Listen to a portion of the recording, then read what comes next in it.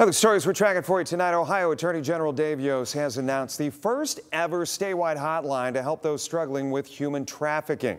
It is set to be activated next month. So the hotline number is 844 N O H H T. You see it right there, 363 6448.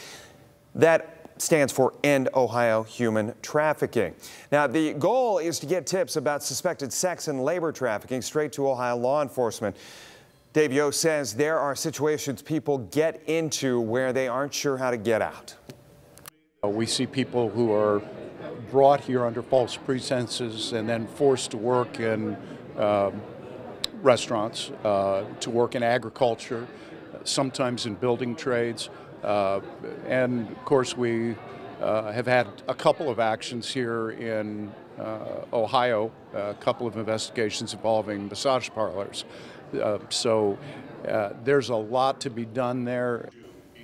The Attorney General says his hope is that the hotline will go live right after Labor Day.